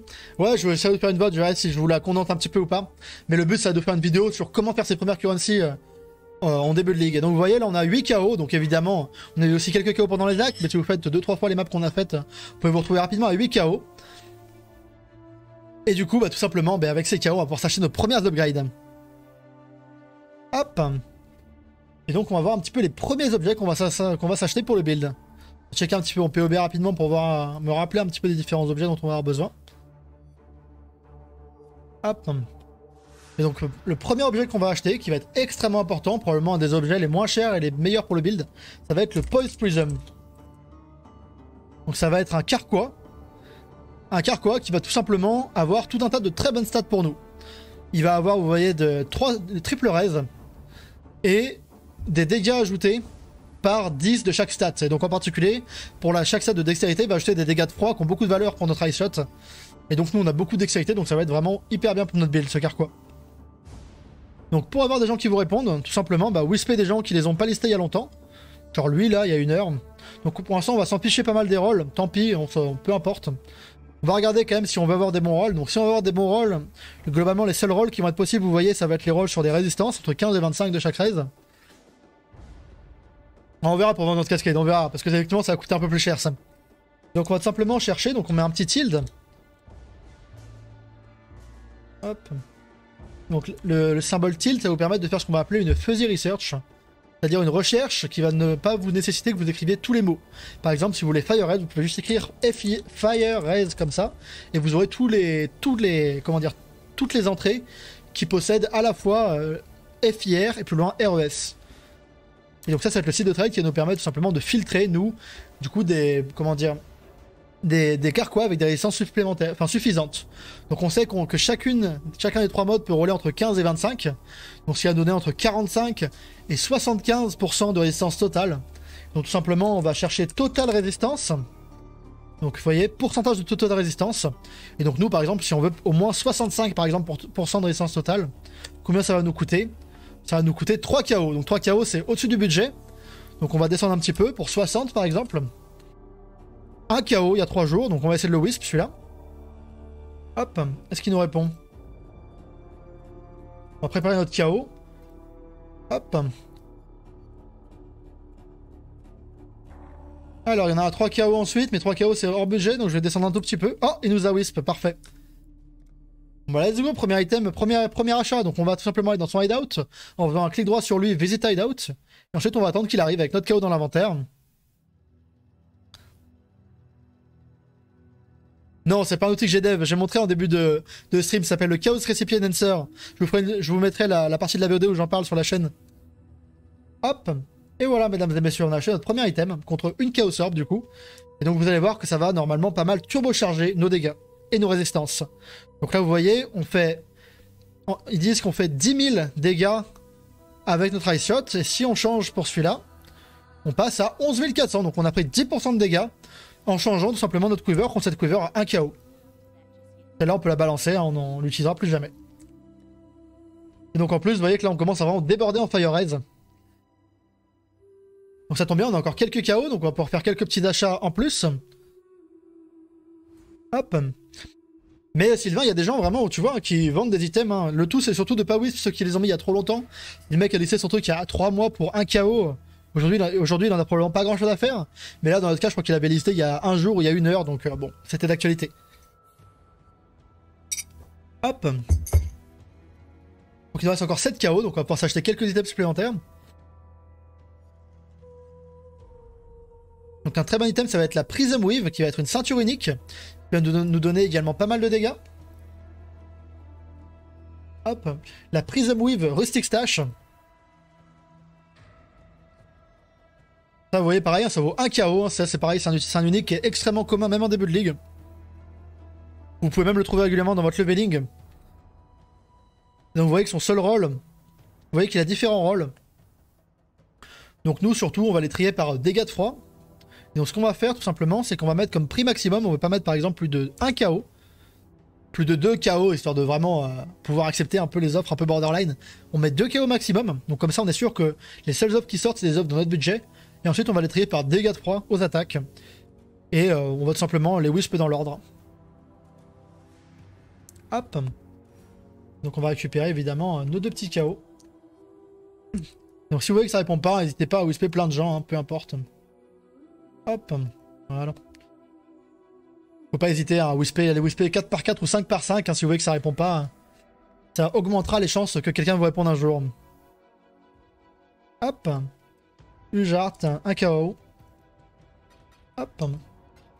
Vous voyez, hein, là on était mal poli, il y a plein de gens du coup qui nous, qui, nous répondent. Mais bon, écoutez, hein, c'est une sorte d'équilibre à trouver entre wisp trop de gens et très mal, trop mal poli, ou euh, passer des heures et des heures à wisper les gens un par un en attendant à chaque fois 30 secondes que la mec personne ne vous réponde pas. Hop, voilà, super. Un KO en plus, un KO en moins pour nous. Mais vous allez voir que ça va ça aussi turbo-charger nos dégâts. Vous voyez, on est à 11 400. Et avec... Oups, on n'a plus les requirements pour nos items. Donc là, il va nous manquer de la force, malheureusement. Hop. Donc, et eh bah ben, ça, il va falloir qu'on le fixe également, la force qui nous manque. pour le moment, on va mettre ça le temps de trouver un peu de force. Donc ça, on va se le garder précieusement dans l'inventaire. Donc on va voir un petit peu, normalement, on va pouvoir trouver pas mal de force sur l'amulette. Donc ça, pareil, à ce stade de la ligue, hein, de avec des stats, une amulette avec des stats, ça ne va pas coûter hyper cher. Donc on va regarder tout simplement une amulette qui va pouvoir nous carrer un peu nos stats. Donc vous allez être surpris de voir hein, à quel point les, les stats ont peu de valeur, hein. surtout si vous faites ce build après ma vidéo à ce stade de la ligue. Normalement, vous n'aurez pas de souci à trouver des amulettes avec pas mal de force. Donc pour les amulettes, c'est très simple. On va donner par exemple un budget, euh, pas de budget pour l'instant, pour voir un petit peu les prix. Dans item catégorie, on va saisir qu'on veut une amulette. Peu importe ensuite de sa rareté, hein. nous ce qu'on veut c'est vraiment des stats. Et donc on va faire, on va taper en strength. Par exemple, si on veut une amulette, donc en termes de strength, qu'on va utiliser, c'est un pseudo. Donc vous voyez, on a soit la strength, soit pseudo total to strength. Et donc pseudo, ce que ça va faire, c'est que ça va agréger sur l'item toutes les stats de strength et ça va les additionner dans le filtre, tout simplement. Donc on va utiliser le pseudo ici. Parce qu'on s'en fiche, hein, si la strength elle est répartie sur divers modes, c'est pas très grave pour nous. Le POV sur les, vidéos, exactement. Exactement. Désolé, ouais, j'ai pas mis de point d'exclamation build, my bad. Donc on a également besoin de pas mal d'intelligence, donc on va également chercher donc du pseudo-intelligence. Et on va dire par exemple, du coup, 5, imaginons qu'on veuille 50 de force et 50 d'intelligence sur l'amulette. Là, on voit que vraiment, euh, il y, a, y, a, ce qu'il faut. Hein. On va même pouvoir peut-être être encore un peu plus greedy, hein, si on veut 60-60 par exemple.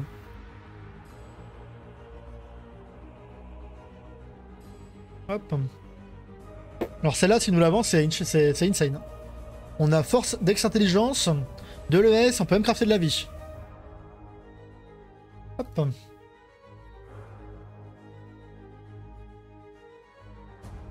Donc euh, bon, on va regarder si nous répond. Si nous répond pas, c'est pas très grave, on va juste en trouver une autre. Hop. Effectivement, là, typiquement, là, on verrait bien l'avantage hein, du HDV dans ces cas-là, hein, évidemment, c'est qu'on n'a pas à s'embêter. Donc là, on voit qu'ensuite, ça monte direct à 5 KO, donc on va se remettre à 50. Hop. Et par exemple, on va vouloir soit pouvoir crafter de la vie sur notre item, soit avoir une stat de vie. Donc on va faire un count. On va dire qu'on veut 1, une option, parmi soit de la vie. Et un tiers pas trop horrible, disons au moins 40 de vie. Soit un préfixe de vide, qui nous permettra donc de, crash, de crafter de la vie. Donc empty prefix modifiers. Oui, oui, il y a tout, hein, il y a tout jusqu'à jusqu'à budget, budget euh, insane. Et donc moi, pour la petite histoire, j'ai joué ce build dans cette ligue, et je l'ai monté du coup du league total jusqu'à un budget de 4 ou 500 divines à peu près. Hop. Et donc là, vous voyez avec ces filtres, les amulettes qui sortent, elles vont avoir la quantité de force et d'intelligence qu'on a noté. Hop. Oups. Voilà. Et en plus de ça, elles vont avoir un préfixe de libre ou un tiers de vie pas dégueu. Et donc là, ce qu'on va pouvoir faire tout simplement, c'est les trier par exemple, mettre qu'on ne veut pas payer plus que 2 KO, et les trier tout simplement par date de mise en ligne, pour avoir les plus récentes d'abord. Donc lui, il a listé il y a 4 jours. Bon, 4 jours, ça date un peu, mais peut-être qu'il va répondre. Non, il n'est pas online. Hop. Donc euh, là, on va descendre encore un petit peu. On va faire ça tout simplement pour essayer de trouver des items qui nous conviennent. Hop. Là, il y a 9 minutes. Il y en a un qu'on a, mis une pour un KO. Et voilà, il nous répond, super. Donc pour un KO, on va avoir normalement une amulette qui va nous donner pas mal de force et d'intelligence. Qui va être vraiment super bah, pour notre perso. Parce que ça va nous permettre ensuite d'avoir un peu moins à se prendre la tête avec ses stats.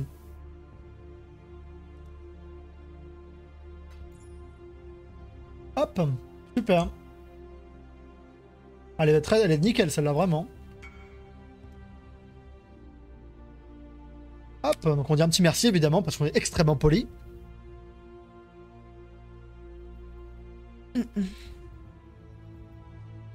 Bah, merci beaucoup Sylvain, bah, j'espère, hein, c'est le but de toute façon, hein, c'est de rendre ce jeu un petit peu moins abscon.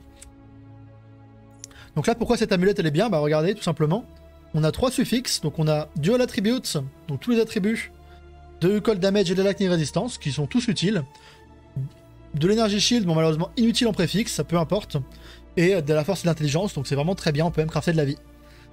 Euh, Vengeance Cascade, à mon avis, faut pas compter dessus sur la prochaine ligue, hein, malheureusement, euh, je le vois pas survivre. Donc ce qu'on va faire tout simplement, c'est qu'on va crafter de la vie dessus. Hop, on va crafter un petit peu de vie. Par exemple, euh, on va garder les alchimies, les alchimies on en aura besoin pour euh, notamment... euh, hop, quand on sera au map jaune, on aura besoin de nos alchimies, donc on va les garder. Et on va crafter un tiers 2 de vie par exemple. On pourra toujours le recrafter plus tard. Hop, 26 de vie. Voilà. Et donc là, on en est où de notre force? Il nous manque encore un peu de force là, vous voyez, sans la, sans la heavy belt. Donc il va falloir qu'on en trouve encore un peu plus. Donc là, on va pouvoir trouver encore un peu plus de force, et bah c'est tout simplement sur nos anneaux. Hop. Donc on a quelques petits problèmes de res, vous voyez que nos res elles sont pas très bien équilibrées. Donc on va chercher un peu de jewelry en plus pour euh, pouvoir tout simplement trouver des anneaux qui pourront nous carry un petit peu en force. Hop. Donc alors on va regarder parmi nos anneaux lesquels sont les plus mauvais. Donc celui-là il a 2 res, 3 res même, il est plutôt pas mal. Avec Awaken PO Trade en contrôle D vous pouvez voir les résistances totales. 85% de résistance c'est pas incroyable mais c'est déjà ça. En général on considère vraiment un bon anneau en termes de res à partir de 100-110% de res. Mais 85 c'est quand même pas horrible. Et celui-là par contre vous voyez il est très très moche. Hein. Cet anneau vraiment il y a rien qui va. hein. On a un petit peu de par truc par-ci par-là mais celui-là on va pouvoir l'améliorer très facilement. Donc on va le retirer. Et donc là, on va faire une recherche un peu complexe pour voir comment on peut fixer le build. Donc en particulier, on va vouloir un anneau qui nous donne de la force. Ça, c'est la base. Derrière, si possible, on veut pas qu'il ait de lightning resistance. Et donc on va vouloir qu'il ait de la fire et de la colle. Donc on va chercher un anneau avec euh, triple res, avec suffisamment de force. Et derrière, autant de fire et de colle résistance que possible pour fixer notre, personnage. Donc après, s'il y a des stats en plus, c'est encore mieux évidemment, mais c'est euh, les prérequis qu'on va mettre dans le filtre. Hop. Et donc évidemment, à un prix pas exorbitant, on va se dire 2 KO maximum, histoire de pas se ruiner. Donc on a dit, on veut un anneau avec de la force. Donc on va dire en pseudo, tou- toujours pseudo, on n'a pas besoin de, vouloir un mode en particulier. Donc un ring avec de la force, donc on va dire par exemple au moins euh, pas 32 force pour être tranquille. Et donc ensuite on va vouloir de la fire res. Ça on peut le retirer. On va vouloir de la cold res. Et donc, imaginons qu'on veuille par exemple 30 de chaque. On va commencer avec 30 de chaque. On va voir un petit peu. Là, on en a un qui est vraiment parfait. Nickel, hein, vraiment. C'est c'est limite moi avec mon second compte qu'il a mis en ligne, hein, parce qu'il est vraiment très beau cet anneau. Donc, eh ben, on va tout simplement euh, demander à l'acheter pour 2 KO. Bon, si quelqu'un vous répond pas, vous pouvez aussi lui redemander. hein. En général, les gens, ils ont l'impression que vous avez Wisp 10 personnes. I... I... Donc, euh, si vous voyez que la personne ne répond pas et que vous voulez vraiment l'anneau, ce que vous pouvez faire, c'est lui demander tout simplement Do you plan on selling this ring? It's what I need for my reroll. Hop. On va pas être mal poli, on va inviter euh, le mec euh, qui veut nous faire un achat, mais évidemment, on va pas mélanger, c'est de l'argent pour mon personnage principal. On va pas utiliser cet argent, euh, on va pas détourner l'argent du compte principal. Ah, vous voyez, là il vous répond. Il est dans un laboratoire, il est dans, dans le lab. Hop, donc on va tout simplement attendre qu'il sorte du lab. Alors. Hop, on va juste faire la petite vente de notre casque, tout simplement. Donc je lui rends 20 divines. Mais il me semble qu'au prix, au prix de la divine, j'avais pas besoin de lui rendre des divines. Mais bon, peu importe. Hop. Hop. En tout cas, Sylvain, ce qu'il faut retenir, c'est que ce build en particulier, le Ice Shot, le build que je vous présente là, il sera probablement pas jouable la ligue prochaine. Donc ça n'a pas, pour le moment, grand intérêt hein, de... Ce que je vous ai dit, hein, les prix, les prix en Start sont complètement différents des prix actuels. Mais l'important, c'est de retenir la méthode, de faire la Chaos Recipe si vous galérez, etc. Pour récupérer vos premiers KO et vous payer vos petits items pour fixer votre build. Mais le truc, c'est que bah, la prochaine ligue, malheureusement, il y aura probablement plus Vengeance Cascade, par exemple. Et donc, ce build, s'il n'y a plus Vengeance Cascade, il sera beaucoup moins intéressant à jouer. Je vous mettrai à jour à ce moment-là avec des meilleurs builds pour la ligue. Hop. Donc, on va lui dire I can wait. Donc, on va tout simplement attendre qu'il ait fini son lab pour lui acheter euh, son anneau. Parce que son anneau, il va vraiment euh, nous rendre énormément service hein, pour le build. Ce qui va nous donner pas mal de raise, on va même pouvoir crafter de la vie. Et en plus de ça, il va nous fixer complètement notre problème de force, ce qui va nous permettre de commencer à upgrade nos gemmes. Donc ça va être incroyable. Je joue depuis la fin de la Ligue Expédition, début de courge. Et toi, Sylvain? Donc là, vous voyez, on peut commencer à améliorer nos gemmes. Là, ça y est, on est enfin commencé à débloquer nos problèmes de stats. Je pense que le Deadeye se fera pas détruire, hein, mais il y aura juste Vengeance Cascade, qui à, mon avis aura un less damage multiplier sur la tronche, genre 30%. Euh, je pense, à mon avis. Moi, en tout cas, c'est comme ça que j'imagine qu'ils le fixeront, parce que bon, on va pas se mentir, le node est broken. Hein. Là, on, là, on exploite vraiment, avec ce build, une des choses les plus problématiques en, ce moment en, termes de build, qui est ce 2 Vengeance Cascade, hein, qui casse je sais pas combien de builds. Donc, bon, bah, c'est aussi le PoE, hein, c'est que chaque ligue, on essaie de trouver les trucs cassés, et puis euh, quand on les trouve, on en profite. Et la ligue d'après, eh ben, la, la, fun police arrive euh, et nous arrête. Donc on avait fait une troisième map aussi, donc on va mettre un troisième petit point. Hop. Et on va regarder un petit peu ce qu'on va faire comme map suivante, en attendant un petit peu que la personne arrive. Hop.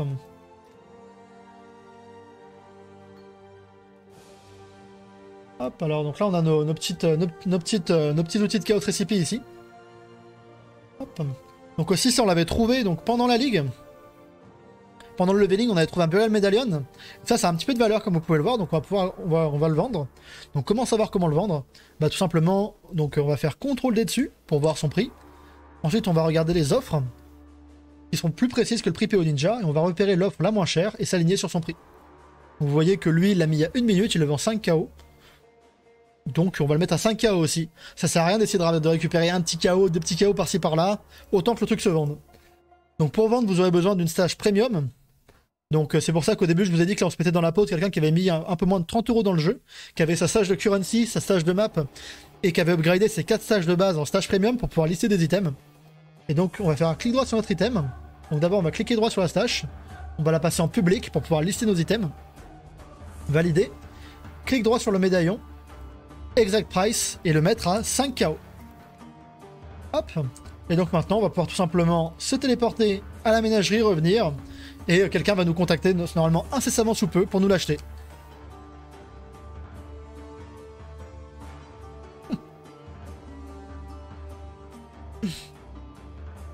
La 30% tu prends quand même, incroyable. en vrai, même avec la 30%, ça sera quand même un multiplicateur de dégâts, donc ça sera quand même bon. Mais ce sera moins broken. Hop. Donc là, il n'y a plus qu'à attendre le chaland, tout simplement. Donc normalement, on devrait pouvoir acheter encore une petite pièce de soft ou deux. Si ça va à 5 KO, vous allez voir qu'avec 10 KO, là, on aura vraiment déjà plus turbo charger le build. et il, ressemblera plus du tout à ce à quoi il ressemblait. Hop. 60 stash, oh boy. Effectivement, c'est beaucoup. Donc si la personne ne voulait pas qu'elle vous oublie, vous lui demandez... Euh, what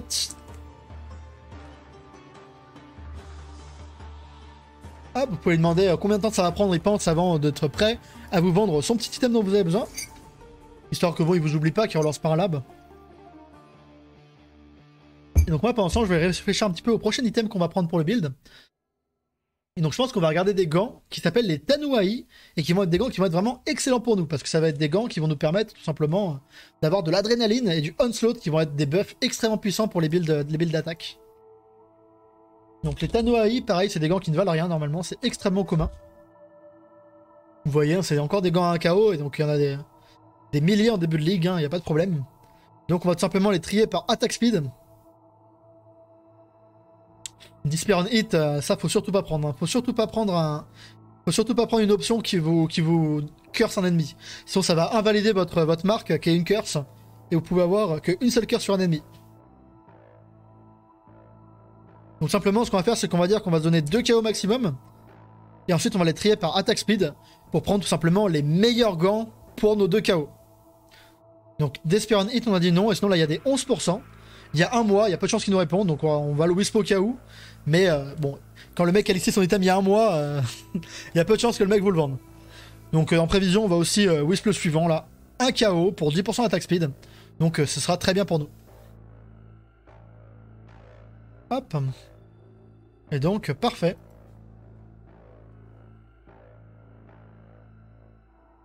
Hop. Donc on va prendre l'autre qui est meilleur, hein, malheureusement. On va dire sorry, found a better one. Sorry for bothering you. Hop. Parce que bon, bah voilà, quand même, euh, on va pas non plus, on va faire la charité, vous voyez ce que je veux dire. Hello Ludwig, bienvenue. Donc c'est important, si vous faites quelque chose d'un peu incorrect dans un trade, c'est pas grave, hein, un trade c'est comme ça, ça peut ne pas se conclure. Mais bon, excusez-vous au moins, soyez poli, soyez courtois. On est tous dans la même galère dans Path of Exile. Et ben, c'est rigolo pour personne d'inviter quelqu'un pour un item à 2 KO que la personne ne vienne pas. Donc au moins une petite excuse, ça mange pas de pain. Hop.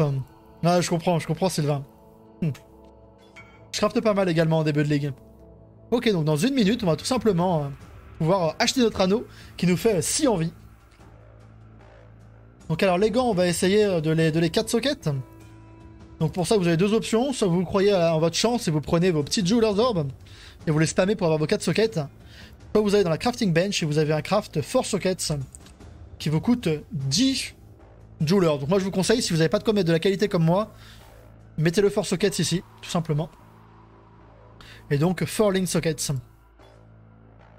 Donc là, ce sera parfait. Donc pourquoi est-ce qu'on prend ces gants? Donc regardez, donc déjà ils ont de l'increase attack speed qui va augmenter nos dégâts, qui vont être extrêmement cool. Hop, donc on va dire OK. En fait, donc on a l'increase d'armor of evasion, qui va augmenter donc les défenses de nos gants. Et donc ensuite, ce qui va nous intéresser, c'est le fait qu'on va drainer une partie des dégâts physiques qu'on va infliger comme de la vie. Donc nous en plus avec euh, Blood Rage, on va énormément drainer de dégâts. Et en plus de ça, on va avoir deux effets qui se coulent. Le premier effet, c'est de l'adrénaline. Et le, deuxième effet, c'est de l'onslaught. C'est-à-dire que quand notre vie elle va atteindre la vie maximum à cause du leech, c'est-à-dire quand on va pas être à, vie complète grâce à Blood Rage qui nous dégène, et que notre vie elle va remonter quand on va leech et qu'elle va hit la vie maximum, on va avoir 10% de chance de déclencher de l'adrénaline et 10% de chance de déclencher de l'onslaught, qui vont être des buffs qui vont nous augmenter notre vitesse de déplacement, notre attack speed, etc. Et donc le fait est qu'avec ce build, on va passer notre temps à leech, à leech, à leech, à leech, à leech. Et donc euh, bah, notre vie, va extrêmement souvent remonter à fond. Et donc au final, on va avoir un très bon uptime d'adrénaline et d'unslot juste pour un slot de gants. Ce qui a énormément de valeur. Hop. Voilà, nickel. Et donc ces gants-là, hein, ils sont garbonzo, hein, donc on va s'en débarrasser euh, et ne plus jamais en parler, évidemment. Hop. Alors, donc ensuite, il y a Monsieur Une Minute, là, alors. On lui, a acheté à combien? On lui a acheté à 2 KO. Donc, vous voyez que là, on arrive déjà au fond de notre budget, là. Donc, euh, j'espère que les gants... Ah, super. Vont être corrects. Hop. Enfin, pardon, que l'anneau va être correct et qu'on va avoir un build à peu près fonctionnel. Mais là, vous voyez qu'on a déjà bien tapé notre budget, là, avec les quelques petits achats qu'on a fait. Mais bon, notre budget, c'était 8 KO, donc c'est normal... Euh, c'est normal qu'il soit pas illimité. Hein.